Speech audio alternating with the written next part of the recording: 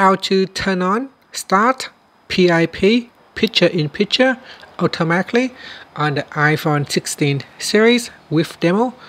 Now first let's go back to the home screen by swiping up at the bottom of the screen. And from the home screen we're going to go into settings. Next from the settings page scroll down then tap on general. Now scroll down and then in here we'll tap on picture in picture. After that tap on the start PIP automatically. Tap on the toggle button to start or to turn on start picture in picture automatically. Now say that when you swipe up to go home or use other apps, videos and FaceTime calls will automatically continue in picture in picture. So let's take a look at an example. So I'm going to start a FaceTime call.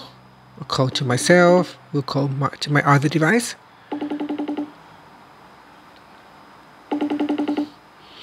I'm just waiting for the other call to pick up.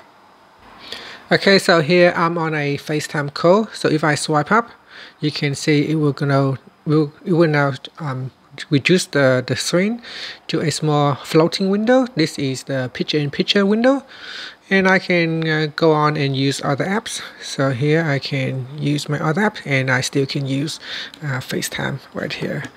Now if I go into picture in picture and turn it off, right?